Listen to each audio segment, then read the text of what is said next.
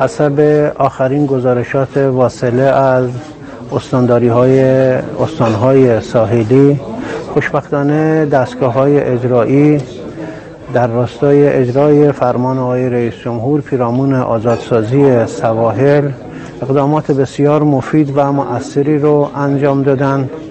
ظرف 72 ساعت آینده اون بخش از دستگاه هایی که تاکنون اقدام نکردن بهشون اخطار داده شده است که اقدام بکنن.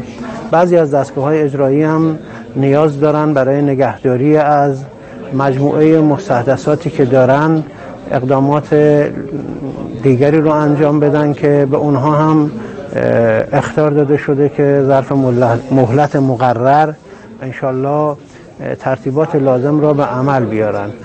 خوشبختانه باید خدمت شما عرض بکنم که بالغ بر 90 درصد دستگاه اجرایی فرمان را تا الان اجرا کردن. ما بقی هم در شرف اجرا هستن انشالله